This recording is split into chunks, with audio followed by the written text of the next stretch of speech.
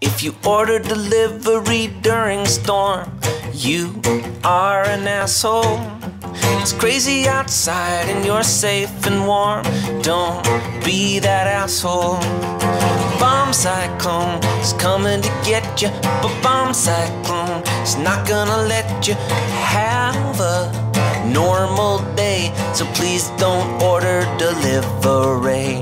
If you don't wanna go outside, what's in your house should last. And if you didn't bother to buy food, then listen, it's okay to fast. Cause the bomb cyclone is coming to get you. It's the bomb cyclone. It's not gonna let you have a normal day. So please don't order delivery. Put on your boots, play in the snow. Go to the store if you want, but leave Seamless and Postmates alone. Be happy with what you got. Oh, bomb cyclone, coming to get you.